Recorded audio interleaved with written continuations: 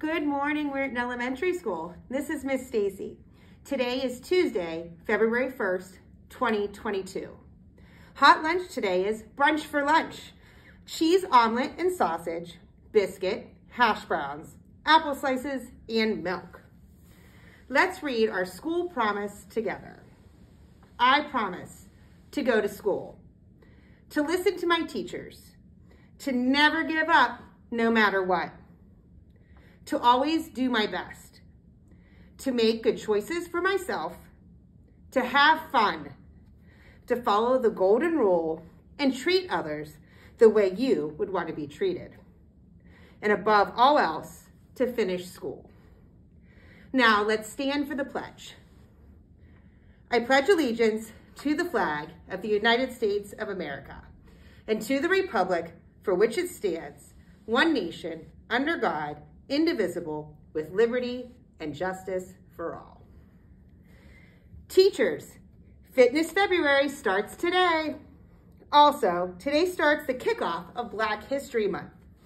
There will be a special report attached to the news each day in February from our third graders. February is also Counselors Month. I would love you to come find me so we can talk about kindness and how we can promote kindness within our school. February will be celebrating kindness at WES.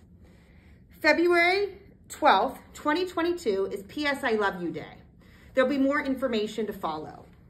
Also, February 22nd, 22, which is second month, 22nd day of 22, also lands on a Tuesday. So that way will be Tuesday, 2-2, We're too kind.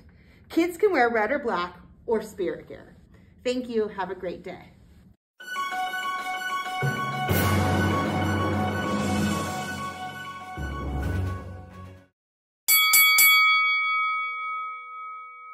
My name is Muhammad Ali, and I was born on January 17, 1942. I was born in Louisville, Kentucky. I died on June 3rd due to rep respiratory failure. I was named after my father and I dreamed of being a boxer all my life. I became a famous boxer. I was the most famous person on the planet even after I didn't box anymore. After I retired from boxing, I worked with charities and was an activist. I liked to help many people.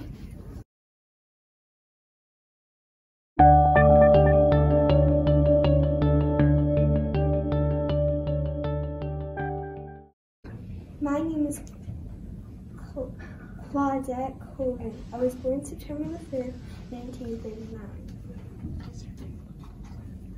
I was born in Montgomery, Alabama, and I am still alive today.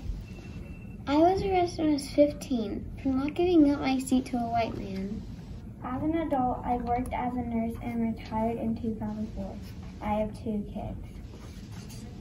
I challenged Alabama's segregation laws and was an important part of the civil rights movement.